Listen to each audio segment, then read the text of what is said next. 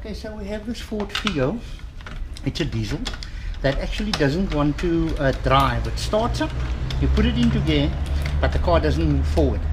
So I was under here before when I jacked. Once I jacked it up, it seems that the CV joint, the outer CV joint, had broken. Okay, so I'm going to take the wheel off and loosen up the um, loosen up the, the lower control arm so that we can get the, the CV joint. We can get the CV joint out.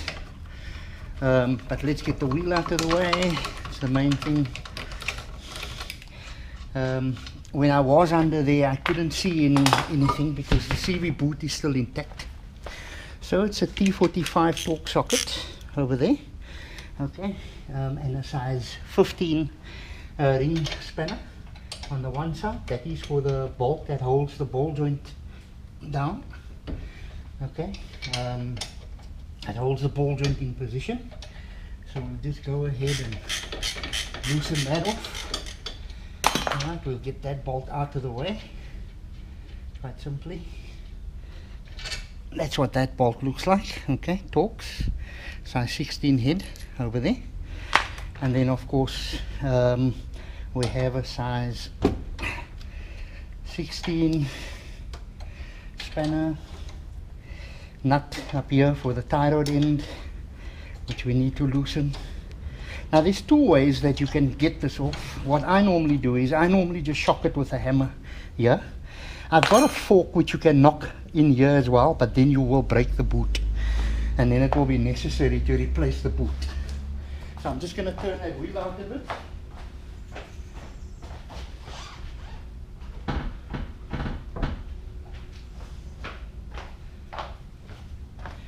So with the wheel turned out a bit, we can just we knock it right there to shock it.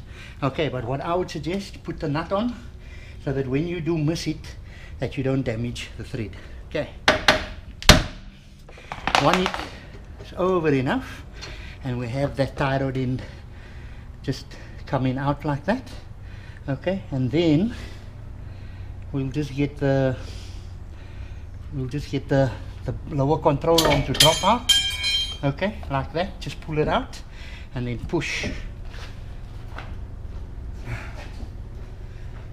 With a fiber hammer just get that CV joint to go through the through the and you can see that that CV joint you know there is definitely something wrong. I can feel there's something wrong there. So I'm going to take the shaft out uh, by the gearbox and take it to the bench so with the shaft loose from the box, we can just pull the shaft out, okay? And as we can see, you know, this looks fine, okay? But this one, definitely, you know? So let's, let's go take a look on the bench. We just need to get this clamp broken off, out of the way, okay? And we'll just peel that rubber back and you can see that CV joint the CV joint carrier inside has broken. Okay it's just the carrier is broken the carrier that actually holds all the little CV uh, all the little balls in there. Let's just get this boot peeled back. Get the boot peeled back so that we can get the shaft in there.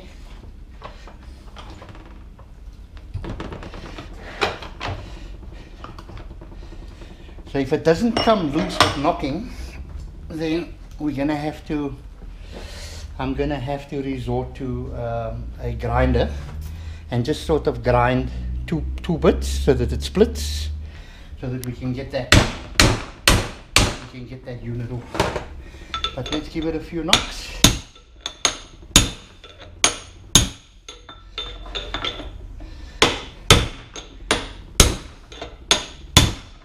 No success.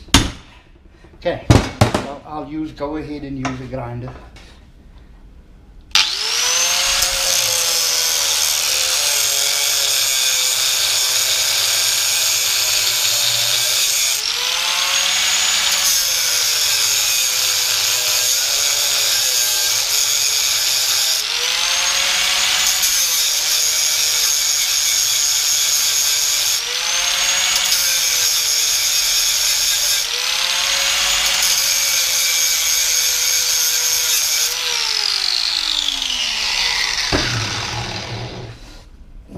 Turn and then we'll go more or less halfway around.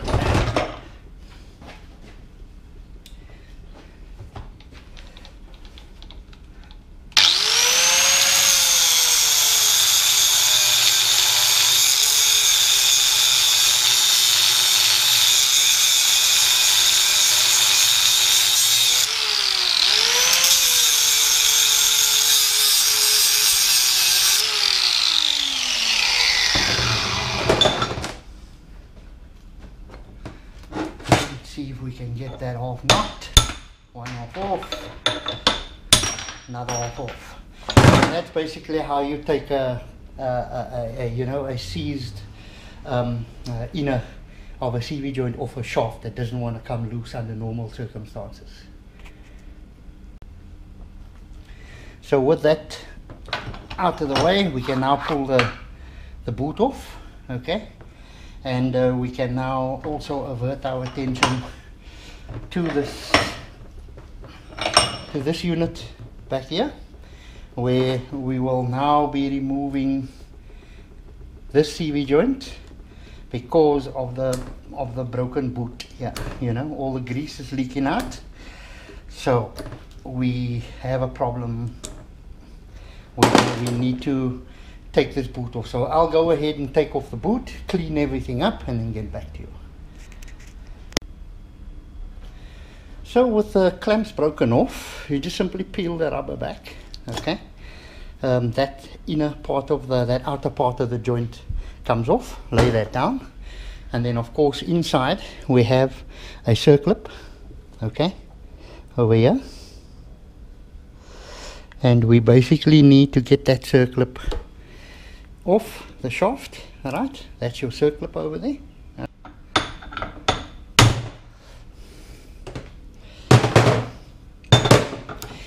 Okay, so I'm having a bit of uh, trouble getting this unit off and I am scared that I am going to damage it. Okay, so because we are just basically replacing um, the boot, okay, and not the complete CV joint, okay, I am going to take the boot because we are doing the front, the outer CV joint as well. We can actually pull the boot off the shaft, okay. So with us pulling the boot off the shaft, all right, we can leave that behind. I'll put the circlip back, okay, and uh, know that we don't have to worry, um, you know, about damaging this this unit here, because that will probably cost the customer a, inner CV joint if we persist, because it seems to be very tight on here. So I'm just going to be putting that circlip back, okay. Make sure that that circlip beds and seats properly and um, we will just be doing the boot and we will be pulling the boot in from the opposite side. So with everything nicely cleaned up, this is the trouble joint, okay? Um, inside, you're supposed to have this carrier, okay? That carrier, okay, with ball bearings in it like that. And that basically goes inside this unit, okay? to allow the, the car to first of all the shaft to rotate and then for the steering. Okay. So that's all broken. These little pieces all broken you know as you can see all those little bits belong to that carrier. Okay. Um, then the unit that we had to grind off. Okay. Um, how that basically works is that it's got a it, it, it's got a, a groove going right around to house a circlip. Right. So that uh, circlip will basically go into the groove of the drive shaft. That's the drive shaft, okay? And then with a clip, the, you can see the clip has, has broken as we've taken it out, okay? The clip will expand.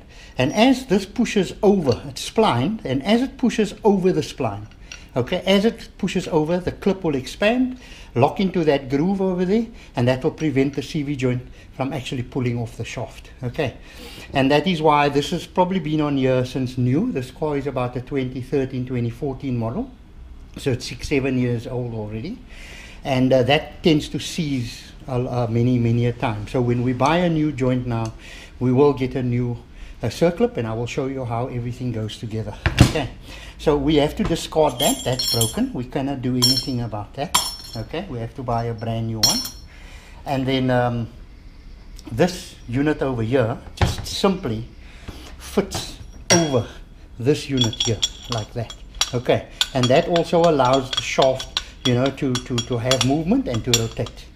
Okay and then of course you have a covering coming over here uh, which is the boot okay which we've taken off that boot over there okay comes over there to uh, keep the grease inside okay so that the constant velocity joint is always basically uh, lubricated okay so that's the movement there and that is makes up your CV joint shaft on your Ford Figo so I'll go ahead and go and get a new outer CV joint a new inner boot and uh, put this whole shaft together and get this car going Okay, so I bought a new um, CV joint, outer CV joint, and uh, the first thing that one does is, you know, before you grease the joint up, take the joint, make sure that there's no circlip in the groove, and also make sure that the splines actually spline in. Oh. Okay you make sure that the spline actually goes in. Okay nicely. Okay. Because if it's the wrong spline count it will not fit. Okay. So once we have that established we know it's the right pull it's, it's the right CV joint. So in the kit we will get the CV joint itself. Can you see everything is intact? It's got six ball bearings and it's got the carrier and then the center boss or hub okay with a spline right and then it has an outer spline with a thread. Okay that's the the, the CV joint there. We get a, a, a packet with bits in it here. Okay uh, you'll probably get um, you know we get, we'll also get the the boot and instructions. And then inside the packet of goodies we will get the two clamps the inner the inner and the outer clamp. Okay that holds the boot onto the shaft and onto the joint itself. We'll get a, a nut, okay, that fits on the outside, that tighten the tightening nut, okay, and then of course we'll get the clip that goes into the groove of the of the shaft. Okay, so in this procedure now, I will go ahead, okay, and uh, basically fit the uh, I will fit the, the, the before I go and fit the inner uh, CV joint I want to make sure that I bought the, bought the correct boot. So we'll take out our uh, our boot okay? Um, in the kit we'll get uh, you know two clamps which you need a special pliers for a special crimping tool which I do have. Um, they'll give you some uh, graphite grease or CV joint grease a tube of grease enough to treat one CV joint and then the boot itself. So we just need to see if that unit works. Okay, so let's assemble this lot now. Okay, um, I'll put that shaft, put that uh, boot in, boot over so long. All right, put that uh, shaft into the vise like that. Push the boot back a little bit, and then of course we'll take the grease that's been supplied okay? And we shall grease up the joint. Just pour all that grease into there okay? Use the whole um, use the whole the whole tube okay? And then we'll just put that shaft over. And as we as we force it over it'll just uh, you know lubricate the inner the inner shaft okay on the inside there.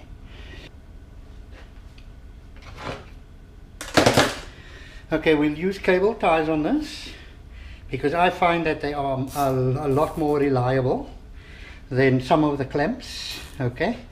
Um, especially the clamps that actually came with this kit uh, those clamps are not reliable. So just by simply putting on a um, okay it's got to be able to move. And then we'll flip it around like that and put another cable tie to seal off that end of the boot okay? Nice and tight. We can go take that off and that's the action you're going to have on the boot there. Okay.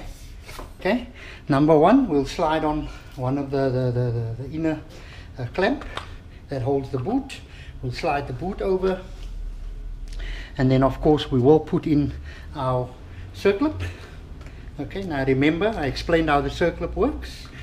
Um, the circlip will basically spread once the CV joint goes over.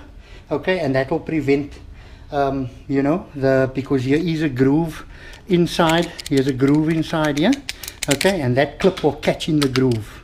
Right. So before we put the CV joint on we'll just go ahead and we'll put some of that grease. We put some of that grease in. We just pump it in like that. Okay fill the joint up completely. You can see it starts oozing out. What I normally do I just take my finger press it in the middle okay and it'll sort of expunge the grease through the through the roller bearings there. Okay then we'll quite simply put it on make sure that it splines properly and then um, just give it a tap with a uh, give it a bit of a tap with a um, with a fiber hammer. If it does struggle to go in then we have to be careful because it means that the circlip is not uh, you know the circlip's not clicking in. So what you sometimes need to do is you just need to take a um, you just uh, okay let's let's just get rid of all the grease and put the grease inside the boot like that. You see the circlip sometimes doesn't push in. So what you need to do um, just find the clip okay? Push the CV joint in and if the clip you'll find that the clip is uh, maybe not going into the groove and you sometimes just need to help the clip just push the clip into the groove so that the CV joint can actually be be knocked in.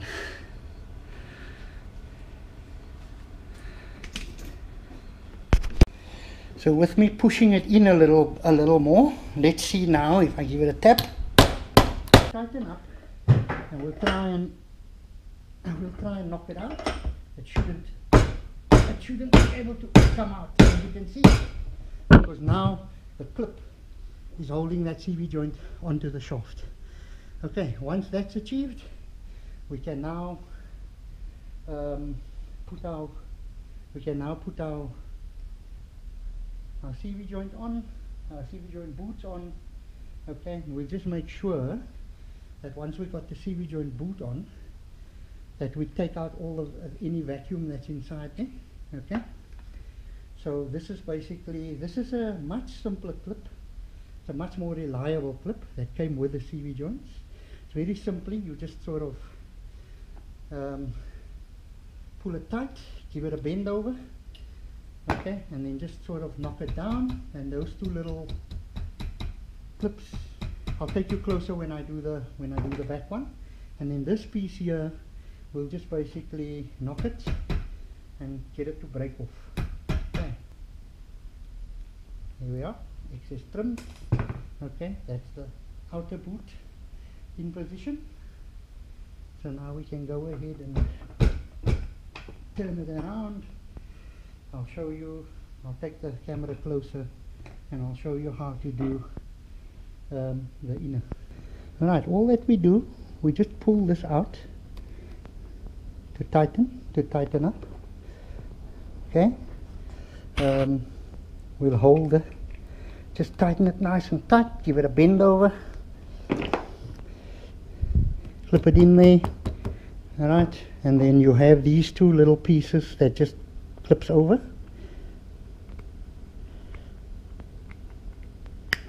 Flips over like that and then of course we trim off the excess. All right.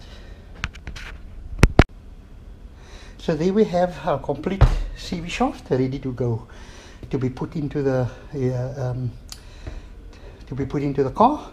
So we've got a new outer CV joint okay with a, a new rubber boot and, and, and, clamps.